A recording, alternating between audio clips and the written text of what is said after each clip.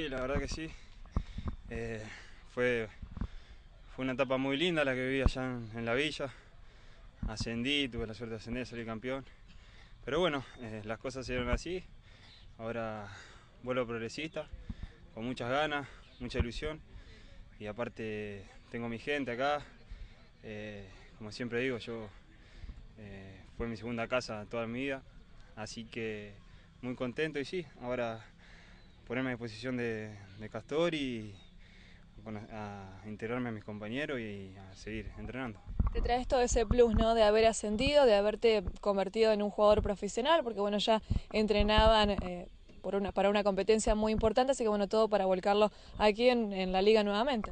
Sí, seguramente. este año y medio, casi dos que estuve allá, aprendí mucho, eh, conocí eh, jugadores muy, muy buenos, eh, técnicos también que me enseñaron, me enseñaron mucho, es otro ritmo, otro juego, así que sí, eh, trataré de, a mis compañeros ayudarles en todo lo que pueda, y, pero siempre uno sigue aprendiendo, así que trataré de hacerlo mejor acá.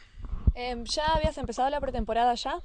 Sí, había arrancado allá, empecé en enero, el 6 de enero, pero bueno, ciertas situaciones dieron que, decida volverme, rescindí contrato y, empezar a jugar acá. Por eso hoy estuviste a, disposición, ¿no? Más allá de que estabas como suplente, em, lo que le pasó a, Nacho te, dio la oportunidad de que juegues prácticamente todo el partido. Sí, eh, la idea es empezar a, sumar minutos con, el equipo, a, como quien dice, conocer más a, mis compañeros. Si bien con varios jueves muchos, muchos partidos, pero bueno, eh, siempre, siempre es bueno eh, sumar partidos. Y sí, lamentablemente Nacho ahí tuvo una molestia y entré, pero bueno, eh, contento porque, porque estoy con, mis amigos y con, mis compañeros.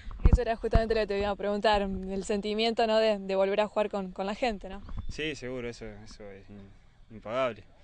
Uno pasó tantos años, tantos momentos buenos, dos campeonatos, así que como te digo, toda la ilusión para que este año eh, volvamos a pelear ahí arriba.